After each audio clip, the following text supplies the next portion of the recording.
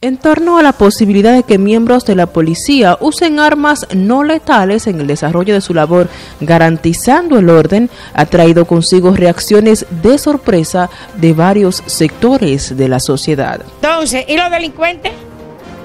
¿Andarán con ese tipo de arma también? Entre estos, los representantes de grupos populares en esta ciudad, entre estos, la presidenta de la Unión de Juntas de Vecinos.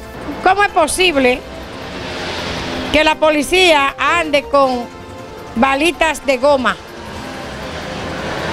mientras ellos andan con pistolas, fusiles, ni se sabe de qué calibre. Entonces ellos será que van a matar la policía. Nosotros decimos, hay que producir un cambio en este país, pero ese no es el tipo de cambio punto de vista que es compartido por el vocero del Frente Amplio de Lucha Popular Falpo en esta ciudad, Raúl Monegro, que califica de locura esta disposición. Mira, eso es una locura.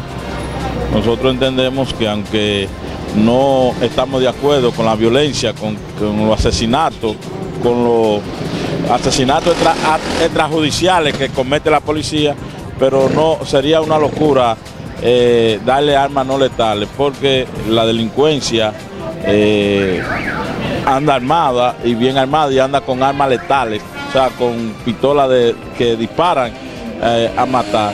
En ese sentido, nosotros creemos que debe buscarse la forma de garantizar la seguridad a este país, pero es con mejores condiciones de vida, creándole mejores condiciones, invirtiendo en salud, invirtiendo en empleo, invirtiendo en educación, que pueda cambiar la situación económica de los dominicanos para que así mismo baje la delincuencia. Con esta iniciativa se pretende reducir las muertes a manos de agentes de presuntos delincuentes en presuntos intercambios de disparos. Giovanni Cordero, NTN, su noticiero regional.